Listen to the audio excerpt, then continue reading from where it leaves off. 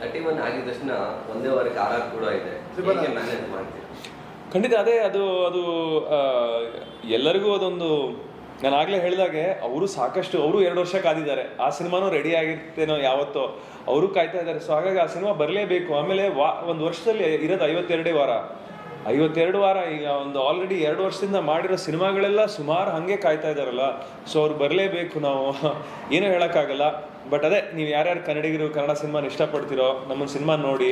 ಆಮೇಲೆ ನಿಮ್ಗೆ ಟೈಮ್ ಇದ್ರೆ ಅದನ್ನು ನೋಡಿ. ಯಾಕೆ ಆ ಸಿನಿಮಾನು ಗೆಲ್ಲಿ. ಸೊ ಹಾಗಾಗಿ ಏನು ಹೇಳೋಕ್ಕಾಗಲ್ಲ. ಹಿಂದಿನ ಪುಷ್ಪ ಆರ್ನೂರ ನಲ್ವತ್ತು ಶೋ ಕೊಟ್ಟಿದ್ದಾರೆ ಬೆಂಗಳೂರು ಸೊ ಕನ್ನಡದಲ್ಲಿ ಅದ್ರಲ್ಲಿ ಎರಡೇ ಶೋ ಇದೆ. ಸೊ ಹೇಗೆ ಮ್ಯಾನೇಜ್ ಮಾಡ್ತೀರಾ ಕನ್ನಡ ಸಿನಿಮಾಗಳು ಸರ್ ಇದೇ ಥರ ಆಗ್ತಾ ಹೋದ್ರೆ ಮುಂದೆ ನಮ್ಮ ಕನ್ನಡ ಸಿನಿಮಾಗಳು ನಮಗೆ ಥಿಯೇಟರ್ ಇರಲ್ಲ ಸೊ ನಟನಾಗಿ ಯಾವ ರೀತಿ ರಿಯಾಕ್ಟ್ ಮಾಡ್ತೀವಿ ಸರ್ ಅದಕ್ಕೆ?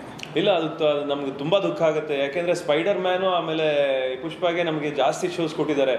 ಅಂದ್ರೆ ಕನ್ನಡ ಸಿನಿಮಾಗಳಿಗೆ ಒಂದೊಂದು ಶೋನು ಕೊಡಲ್ಲ. ಅದು ನಿಜವಾಗ್ಲೂ ಬೇಜಾರಾಗುತ್ತೆ. ಈ ಟ್ರೆಂಡು ಒಂದು ಸ್ವಲ್ಪ ಡಿಸ್ಟರ್ಬಿಂಗ್ ಎಲ್ಲರಿಗೂ ಒಂದು ಸ್ವಲ್ಪ ನೋವಾಗುತ್ತೆ. ಬಟ್ ಅದಕ್ಕೆ ಏನು ಮಾಡೋದು ಅಂತ ನಾವು ಎಲ್ಲರೂ ಸೇರ್ಬೇಕು ಇದಕ್ಕೆ. ನಾವೆಲ್ಲ ಒಗ್ಗಟ್ಟಿಂದ ಸೇರಿ ಏನಾದರೂ ಒಂದು ಡಿಸಿಷನ್ ತೊಗೊಬೇಕು, ಆಮೇಲೆ ನಮ್ಮ ಚೇಂಬರ್ ಅವ್ರು ನಮಗೆ ಹೆಲ್ಪ್ ಮಾಡಬೇಕು, ಅವರು ಒಂದು ಏನೋ ನಿರ್ಧಾರಕ್ಕೆ ಬರಬೇಕು. ಇಲ್ಲ ಅಂದರೆ ತುಂಬಾ ಕಷ್ಟ ಇದೆ. ನೀವು ಹೇಳಿದಾಗೆ ಫ್ಯೂಚರ್ ತುಂಬ ಡೌಟ್ಫುಲ್ ಅನ್ಸುತ್ತೆ ನಮಗೆ.